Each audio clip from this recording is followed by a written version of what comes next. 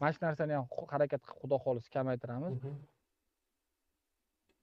san strimingda o'zbeklarni xudo xohlasa kamroq iloji boricha so'kmaydi ham mana aytyapsan so'kmayman deb aytyapsan и также man ham aslamga aytaman aslan san ham o'zbeklarni boshqa unaqa so'kma.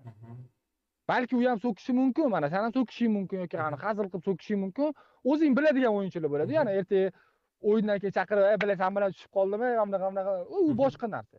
Lekin tanimagan bilmagan yetti yot begona insonlarni u ham san ham emotsiyalarni ozgina ushlaymiz xudo xohlasa.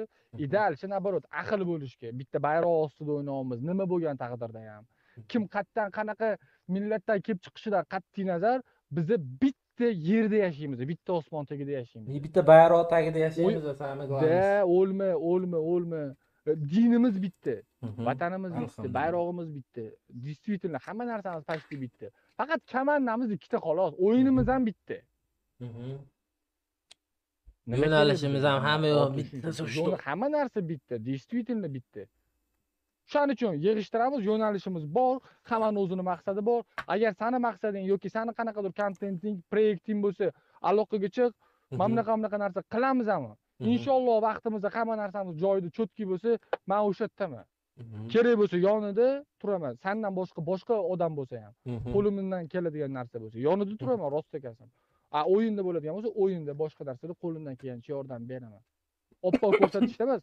Пока возможность ertaga pubgni tashlaganimdan keyin o'tirib bundoq ko'rganimda qayerdadir отрывкада chiqib qolsa что man bir paytlar shunaqa ishlar qiluvdim deb o'zimdan o'zim xursand bo'lay deyman. O'zim eslab "A, nimadir qilib ketibmiz хотя бы nimadir qoldiribmiz o'zimizdan iz. Mana shunaqa narsa qolsin hammamizdan.